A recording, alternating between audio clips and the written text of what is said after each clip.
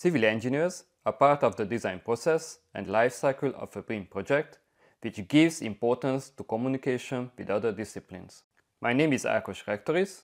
I'm the FEM Design Product Manager at Strusoft for interoperability development. Let me introduce the main new export features of FEM Design 22 on the topic of model-based collaboration. FEM Design provides an effective 3D BIM model-based collaboration with almost all widely used software around the world. We are utilizing many ways and data formats, both through open source and target-specific channels to ensure a professional and safe data transfer. About the novelties of IFC development. Both important and export developments of FEM design always ensure reliable data transfer without data loss.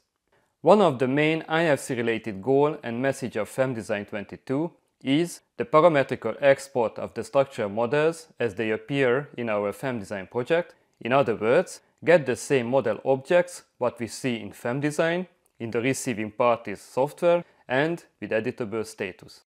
In FEM design, a structure object has a physical representation in addition to the analytical representation.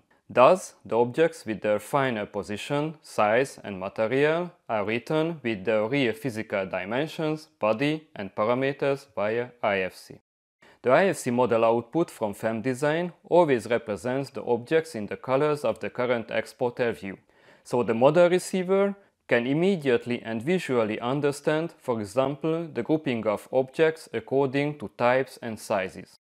Clear documentation between disciplines is also ensured by the sharing of reference systems such as the grid axis system and story system.